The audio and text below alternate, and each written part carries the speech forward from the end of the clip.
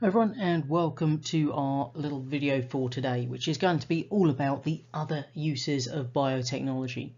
So we're still focused around our spec reference of 6.2.1e but we're going to be honing in on the penicillin production, insulin production and the bioremediation processes today. So let's start off with the whole drug production system. Now one of the first things that we actually need to be able to do is identify key parts on one of these fermenters.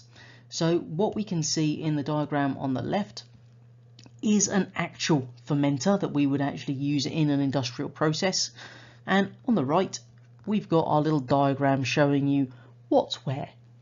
So in this big cylinder, what we actually have then is a bar that runs down the center which has got these little side shoots coming off it and at the end there are paddles. Now the whole purpose of those is to stir the mixture. So they're very imaginatively named stirring paddles. Now those stirring paddles are attached onto a motor to obviously spin the whole shaft and therefore mix the contents of that fermenter itself. Then what you can see is that we've got a selection of inlets and outlets going on in our little diagram. So what we're going to do is we're actually going to have air being passed in at the bottom here. Now that means obviously it's going to bubble through the mixture and you can see the little bubbles in there. And then we obviously need an outlet for the gas, otherwise adding gas to something that's a metal canister would only lead to high pressures and explosions. So clearly we need an outlet to avoid that scenario. So inlet and an outlet.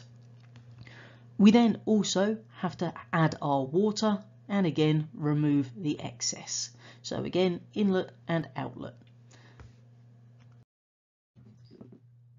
The next consideration that we have are the conditions that we need to be able to control to actually successfully produce whatever drug we are intending to in this fermenter. Now, a lot of these are just factors that hopefully spring to mind when you think of growth of any kind of microorganism. So the first one is temperature. So what we need to do then is consider the temperature carefully. We don't want the temperature to be too low, otherwise we're going to limit the growth of our microbes and therefore that's going to obviously limit the product. But we also can't have too high of a temperature, otherwise we will end up denaturing the enzymes carrying out the process. So one of those little Goldilocks scenarios, the one that's just right, not too high, not too low, just right in the middle there. Next one is oxygen. Now we need to provide oxygen for this to obviously ensure that our microorganisms are undergoing aerobic respiration. We also need to consider the pH and again this comes back to our enzymes. Extremes of pH either too acidic or too alkaline will lead to denaturing of those enzymes, which will bring our process to a rapid halt. We then need to think about the concentration of the product that we are producing, because as we know from our enzymes work, then there is the potential for endpoint inhibition. So what we find is that one of the products of this process can actually inhibit an earlier stage and therefore, again, bring this process to a rapid halt. And finally, we need to make sure that we are providing the right nutrients for these microorganisms. They are going to need a ready supply of carbon, nitrogen, minerals and vitamins in order to obviously produce these products and to actually continue producing more of those microorganisms as well.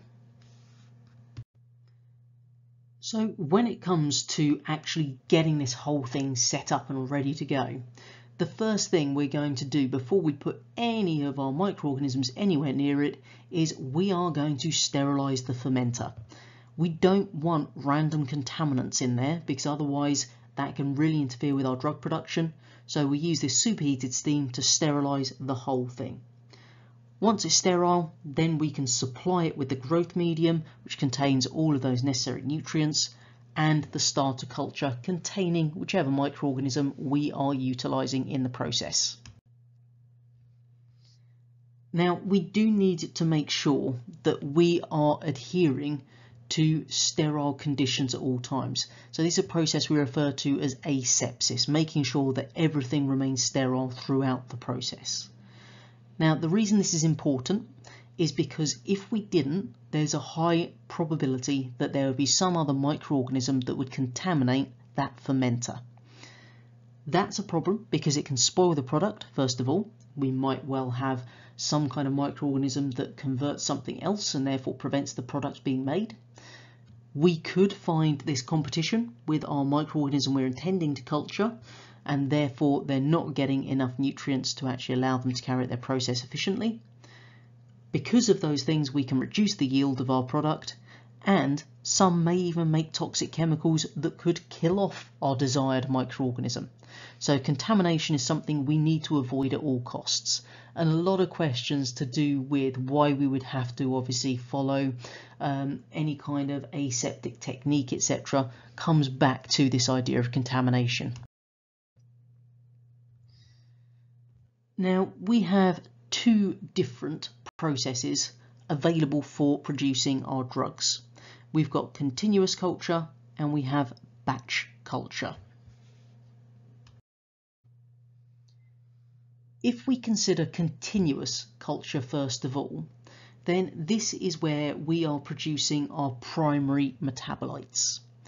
Now, primary metabolites are being synthesized by our microorganisms during their active growth phase and at this point they're just going to secrete these metabolites into the surrounding broth. What we will do during this continuous culture is we're basically going to remove a proportion of the broth from that fermenter and then from that removed broth we can then extract our product. Now that's got another bonus to obviously allowing us just to get the product as it's going in that we're also going to avoid this end product inhibition or populations becoming too large and therefore obviously having negative effects on the remaining population within the fermenter. If we're removing the broth though, we're also going to be adding new broth because we need to replace those nutrients that are being utilised by those microorganisms as they're growing. So this one you'd be able to spot quite easy if it's continuous culture because we're going to have some kind of a little inlet and a little outlet to allow us to add new broth and to remove the products throughout the process. We're not stopping the process, it continues. We're just taking a little bit of broth out and adding new broth. The other option is our batch culture, which is where we're going to be utilising secondary metabolites. Now, the secondary metabolites are the ones produced during the stationary phase of our microbial growth and this is going to take place when those microbial cells are placed under some kind of a stress. Now, in order to actually put them under these stress conditions, then what we need to do is basically limit the quantity of nutrients there are. And the reason for that is that if we keep giving them loads and loads of nutrients, they're never going to experience that stress. They're never going to enter the stationary phase. They're going to continue in that exponential growth phase. So instead, what we do is have a limited quantity of nutrients and we allow that limited quantity of nutrients to be amongst the microbes for a specific time. Then we empty the whole thing out and extract the product. You couldn't leave them in there indefinitely because again, there's a limited amount of nutrients. Clearly they're going to run out completely at some point, at which point everything just dies. So it's very much a case of working out how many nutrients we're going to be utilizing, how long they would need to be in those conditions to produce those secondary metabolites. Then we literally drain the whole thing out, extract our product, and that gives us our batch of our material. We then need to know some specific examples according to your specification. So the first one we need to know a little bit more about is penicillin. Now, penicillin is a secondary metabolite, so we're going to be producing this in batch culture. If you go back to some of your GCSE history, for those of you that did it, I'm sure you've heard of Florey and Chain before. Now, these were two scientists who developed a process for mass producing penicillin through the fermentation of our Penicillium chrysogenum. Now, what we've actually done since the time of Florey and Chain is we've tweaked the process ever so slightly and basically carried out selective breeding on that particular penicillium in order to increase the yield of penicillin we can get from them. So we're not just accepting the first draft, we've actually looked at these penicilliums and then we've obviously gone through the process of selective breeding to maximise our yields. So how does it work? We basically run our fermenter for six to eight days. Remember, batch, we run it for a fixed time period. And then we remove the culture and we're going to filter it to remove those cells. We then add some potassium compounds, you don't need to know any more than that, which will precipitate the antibiotic. So that means it's going to obviously come out of solution. And then that antibiotic is mixed with other inert substances so that it can be prepared for administration to patients. You don't need to know vast details about this process. A quick overview as to why this is basically a batch process is absolutely fine. The second one we need to know a bit about is insulin production. If we go back prior to our lovely modern techniques of producing insulin, then the way that we'd get insulin to treat diabetics was from basically taking the pancreas of slaughtered pigs and then extracting it from there. Now, obviously there are going to be some people that have issues with insulin that comes from dead pig, pancreases. For example, certain religions would have a bit of an issue with products coming from a pig, plus vegetarians, etc. So we've gone away from slaughtered pigs to our biotechnology instead. And these modern methods are better because number one, we don't have to worry about the insulin not being a perfect match because we are literally creating human insulin now. Not using pig insulin, we are using human insulin. So that means it's more effective than the previous insulin was. And it used to be really quite expensive to extract from these pancreases of pigs. We now have a much cheaper process. So what is this modern technique?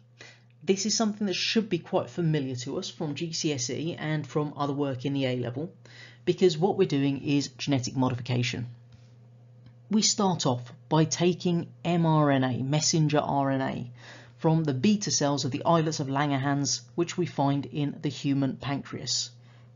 Hopefully remember islets of Langerhans are all to do with producing insulin. So therefore, what's the mRNA all to do with? Insulin. So once we've got the mRNA strands, what we're going to do is produce some single-stranded cDNA using the enzyme reverse transcriptase. So basically what we're doing is we're changing the RNA code into a DNA code. We then add some DNA polymerase, second enzyme that we should be familiar with, and that then changes our single-stranded cDNA into double-stranded. Before we finish that little section, what we're going to also do is add some unpaired nucleotides at the ends of the DNA to make these things called sticky ends. Now, as the name suggests, these are little ends, they're unpaired, so therefore they can stick to something else. And the something else in this case is the plasmid from E. coli, and E. coli is a bacteria. So what we're actually going to do is we're going to insert this bit of DNA that we've just created into the E. coli plasmid using another enzyme, DNA ligase. Now, ligase is all to do with joining. So those sticky ends are going to then allow it to join to the plasmid. What we then need to do is get the plasmid into our E. coli cells so what we do is we expose them to what we call a heat shock. Now that just means that we're going to basically force the plasmid through their membranes really. Okay, so what we then end up with is E. coli with a plasmid inside them that contains the human insulin gene. Once we've got those, we'll stick them in a fermenter. They will produce large quantities because bacteria replicate by binary fission and we will be able to then just keep them going on a continuous culture. So making sure we've got the little inlets to add more broth, etc. And that means we're going to get large quantities of human insulin at a pretty low cost because we don't need any great conditions to grow those E. coli cells. The third technique we need to know on our spec is bioremediation. So remember, bio, living things, remediation is restoring.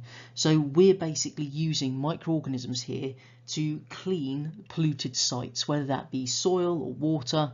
We're using the microorganisms to remove the pollution. And the way they do this is they're able to convert some toxic substances into far less harmful substances.